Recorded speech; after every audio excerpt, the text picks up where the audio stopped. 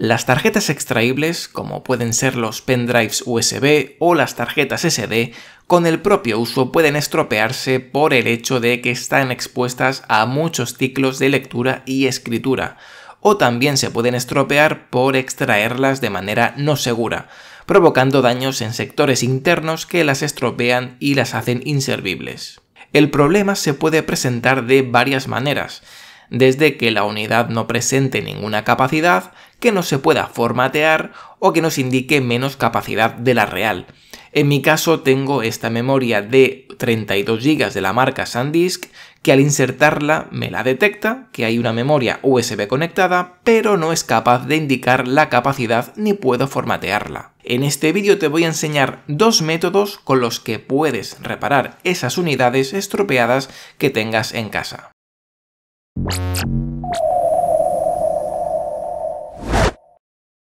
El primer método es la opción más rápida y que, en caso de funcionar, mantendrías toda la información que contenga el dispositivo. Cabe decir que este método no siempre funciona ya que dependemos del grado de corrupción que tengamos en la memoria extraíble.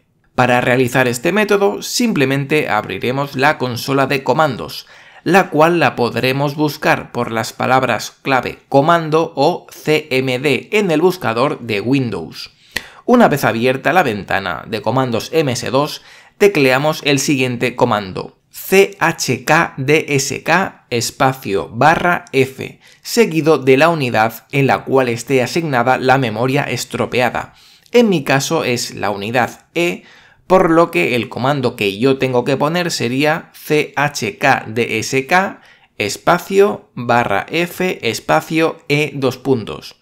Lamentablemente no me funciona ya que este USB está muy dañado, pero en otros muchos casos este comando sí que funciona y lograrías conservar todo lo que hubiese dentro. Si no te funciona de esta manera, existen otros métodos y es el que te voy a presentar a continuación, que sería hacerlo a través de algún software dedicado. En esta ocasión voy a probar este software que se llama HDD Guru, que puedes descargar desde la propia página web del desarrollador, del cual te dejaré el enlace en la descripción de este vídeo. Tiene incluso una versión portable, por lo que ni siquiera tendrás que instalar ningún programa en tu ordenador, simplemente ejecutarlo. Una vez ejecutado, le damos a Continue for Free y seleccionamos la unidad en cuestión. La marcamos, le damos a Continue y nos vamos a la pestaña Low Level Format. Finalmente le damos al botón Format this device y confirmamos el aviso de que se borrará toda la información y esperamos a que se termine el proceso.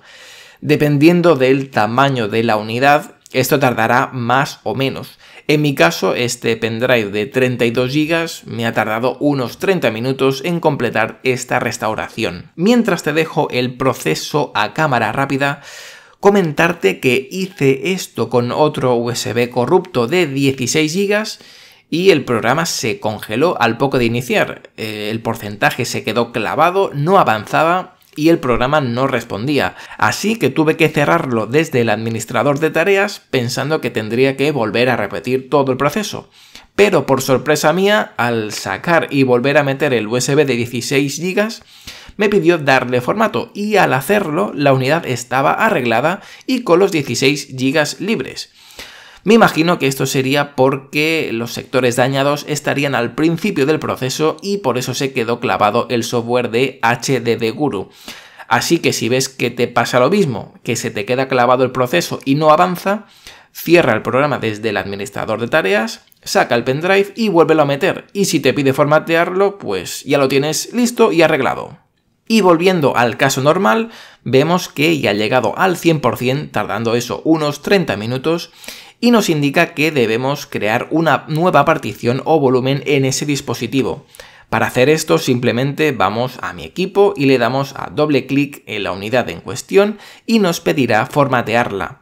Como vemos ya están disponibles esos casi 32 GB y al formatearlo nos deja hacerlo sin problemas y ya tenemos acceso de nuevo a esta memoria perfectamente arreglada. Y de esta manera tan sencilla podemos revivir una memoria dañada. Pues si te ha gustado el vídeo, apóyalo con un buen like, Déjame en los comentarios si te gustaría ver más vídeos como este, suscríbete al canal para no perderte futuros vídeos y nos vemos en el siguiente. ¡Un saludo!